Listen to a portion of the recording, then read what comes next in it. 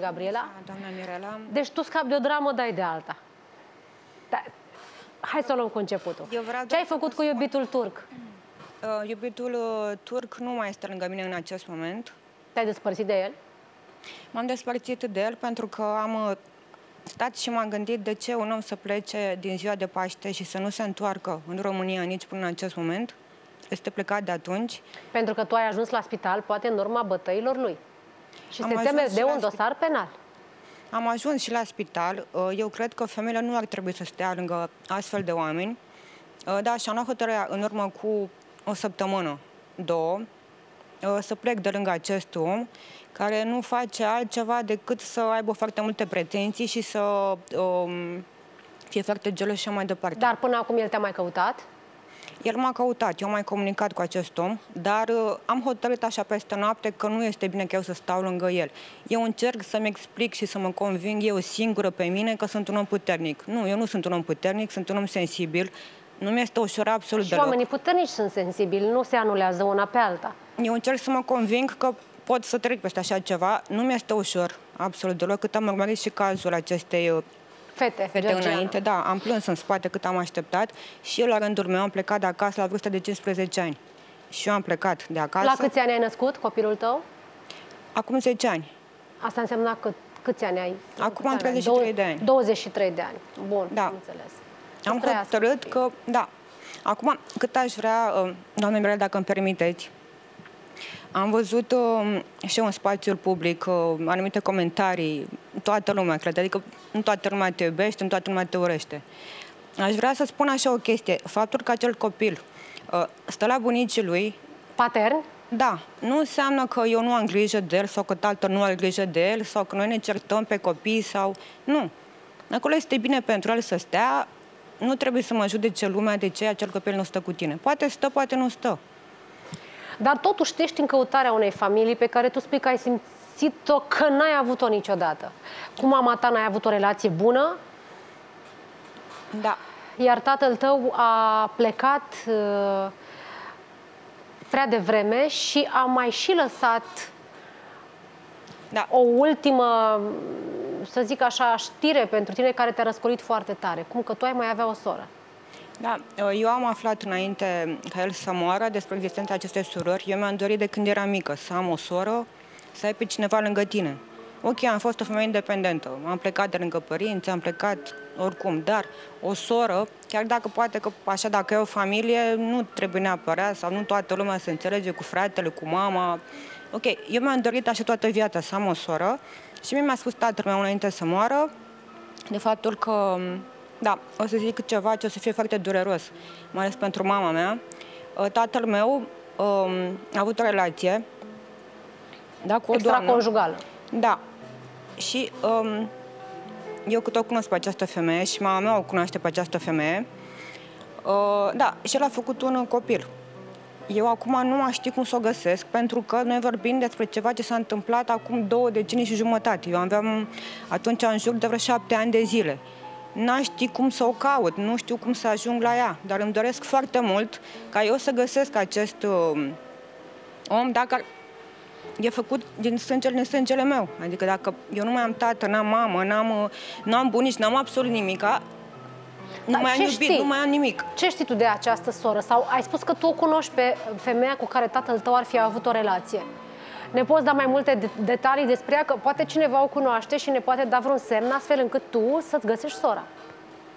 Eu știu doar numele acestei femei, dacă pot să-l dau, că e singurul uh, amănunt, singurul detaliu pe care pot să-l dau, o cheamă doamna Ani și în urmă cu 25 de ani era vânzătoare uh, la un chioșc, un magazin. Altfel, Unde eu anume? Nu știu. În drumul tabere atunci era, dar noi vorbim de acum 25 am de și o ani. viață de om. Deci tu spui că doamna Ani era vânzătoare la un chioșc în drumul taberei. Da. Și era prietenă cu voi sau de ce spui că mama ta o cunoștea? Um, Da, cum am spus, uh, tatăl meu... um, Acum, eu n-am de ce să judec, mai ales că acest om nu mai este printre noi, e nici ce a fost în relația lor, dar da, într-adevăr, acest om a înșelat pe mama mea și a făcut acest copil. uh, Ție ți-a spus abia când a murit că, el, că tu mai ai Că o el, soră? are o soră, el nu a recunoscut această soră. El nu a recunoscut, nu are numele lui, nu a recunoscut. Da, pentru că el încă mai, uh, așa cât iubite pe mama mea, da, eu aș face orice încă să cunosc această soră, am nevoie de un om să stea lângă mine. Dacă am trecut prin foarte multe lucruri așa negative. Știu, într-adevăr, sunt un cu foarte multe probleme, deși nu par. Mama ta unde este acum? Mama mea, ea locuiește în București, dar uh, eu o să vă zic sincer, eu nu știu cum arată această femeie. De ce? Um, eu am hotărât să termin această, această relație, mă rog, e mama mea, ce relație, mă rog, așa, în momentul în care um, eu am fost pe la spital, um, și am cunoscut pe cineva pe la spital acolo, dar și era o fată pe care eu nu o știam, era la spital cu mine. Um, da, și s-a făcut milă de mine, cum arăta așa mai departe. M-a văzut... După ce ai fost lovită de iubitul tău. Da. Și ea cât a sunat pe mama mea, asta vreau să pun o întrebare așa retorică. Nu aștept un răspuns, pentru că oricum nu știu așa deja. Să te sune cineva um, și să spună, acum este 12 noaptea, da? să spună, uite, vezi că fica ta e bolnavă, cât e în spital și așa mai departe. Da? Și mama să spună, păi știi ce, nu mă interesează, cât este așa strigător la cer. Și spui că o colegă de salon, văzându-te da. atât de bătută de către fostul tău iubit, da. a sunat-o pe mama ta să-i spună da. că tu ești în spital, singură, da. în ziua de Paște. Da. Și mama ta a spus că nu interesează? Exact. Dar de ce? Când s-a stricat relația asta voastră? Ea nu a fost niciodată o mamă bună și un exemplu bun. Ok, am înțeles, a, cât a putut să mă ajute cu școala, cu educație, ok, nu am ce să reproșez. Ea m-a făcut și o mamă rămâne o mamă, ea te-a făcut până la urmă. Dar um, s-a stricat în momentul în care, din partea mea s-a stricat, pentru că eu eram în clasa 8 -a, aveam 14 ani uh, și um, eu mergeam pe la meditații, da, și acel profesor, um, cât îmi făcea avansuri, și am sunat pe mama mea și am spus, uite, acest profesor îmi face avansuri, nu s-a întâmplat nimic grav, oricum ar fi ajuns pe mâna poliției, nu s-a întâmplat nimic grav, doar că um, nu este corect și nu este normal. Deci el avea un apartament cu două camere, da, și avea un copil și o nevastă care stătea în camera a doua. Am înțeles. Da? Și, și mama ta, când ai spus asta, ce a spus? Mama mea a spus, pe uite, că tu mai ai câteva zile până la capacitate, câteva săptămâni, nu avem cum să schimbăm profesorul, stai și mai rabdă. Deci tu spui așa, că ai simțit că îți face avansuri profesorul de clasa 8 -a, i-ai spus mamei tale și ți-a zis stați și rabdă că mai ai două săptămâni până la capacitate. Da, eu i-am păi și de atunci tu ai simțit că mama ta nu e ceea ce îți doreai uh, tu? Nu ai cum ca și părinte să vină copilul să-ți spună, uite, acest om, cum am spus, nu s-a întâmplat nimic grav, dar simți. Da? Și mă ales că eram, aveam 14 ani, apelase în buletinul. Da, și a spus, păi nu, tu stai acolo până termin și după aia gata, ai terminat. Nu ai cum înțeles. tu, ca mamă... Și de atunci s-a rupt relația dintre voi? Da, pentru că nu am fost de acord. Um, nu poți tu, ca mamă, să spui, păi stai acolo, stai acolo, lasă că termini. Cum adică și după să... aia, la câți ani ai plecat tu de acasă? Eu am plecat la 15 ani de acasă, wow. adică la un an a fost prima mea dorință în viață să plec de acolo. Dar unde ai plecat la 15 ani? Uh, eu am stat cu un bărbat uh, Timp de jumătate de viață, mă rog, până acum... Doamne, numai că intrăm în niște da. detalii de, de, da, de, de, de păi... mai tare mă înțelegi, mă afunzi în niște situații extrem de complicate și la ora asta și... Da. Uh, bun, deci tu spui că tatăl tău, tu cu tatăl tău ai avut o relație bună? Da, da, tatăl meu a fost un om foarte bun da, și da. cu bunicii mei e din păcate nu mai sunt pentru noi, nici bunicii mei și nici tatăl meu. Eu nu mai sunt aici, îmi pare foarte rău. Și cu mama ta, tu nu ai mai avut o relație de atunci, de la 14-15 ani? O mamă care spune stai acolo când ești abuzată, nu cred. Dar și lumea mă judecă, păi de ce nu te întâlnești cu mama ta și de ce nu vorbești, de ce nu vă împăcați? Nu știu cine locul meu ar face.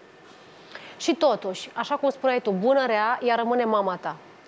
Uh, și asta nu se poate schimba ai avea să-i transmiți mamei tale un mesaj, chiar dacă ea nu a răspuns apelului tău de pe patul de spital? Da, am undeva să-i transmit uite un acolo, mesaj. Uite acolo.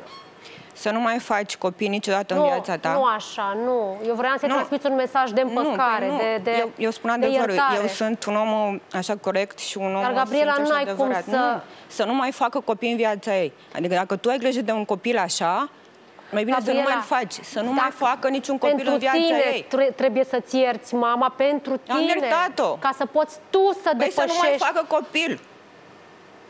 Singurul meu mesaj este să nu mai faci niciun copil Dar în viața ceva, ta. nu, ceva de bine vrei să-i, să-i uh, Să spun de bine că îi mulțumesc că m-a făcut cu toate că n-a obligat-o nimeni să mă facă ea pe mine.